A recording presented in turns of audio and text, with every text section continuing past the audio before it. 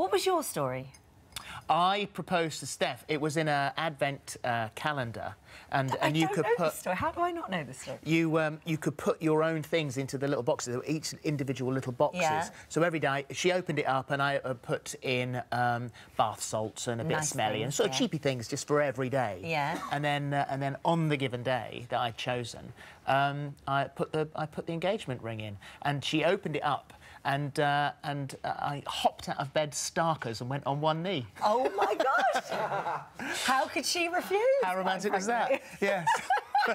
and then she said, "Oh, I prefer the bath salts." Ah, no, she didn't. No, Not she didn't. No, she true. didn't.